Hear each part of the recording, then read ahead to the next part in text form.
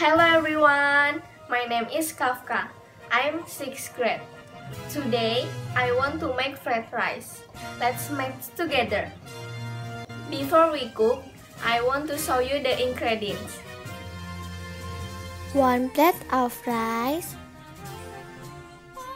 eggs, red onion, garlic, red chili, smoothed first, tomato, cucumber, carrot, and lettuce for condiments.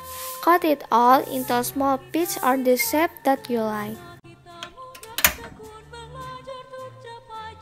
First, put the oil, break the eggs and stir the eggs until it cooks well.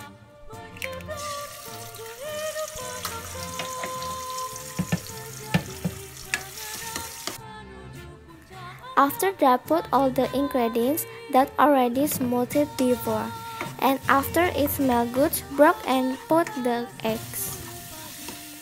Second, put all the rice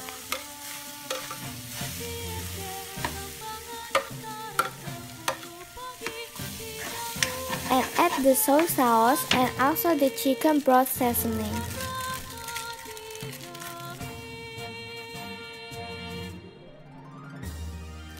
Third, serve the rice and the all ingredients till it mix well. Fourth, serve it on the plate and put the lettuce, tomato, and cucumber for condiments.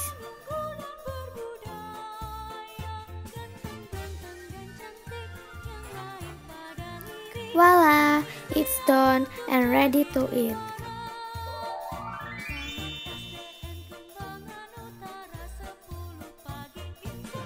Finally, this is my fried rice.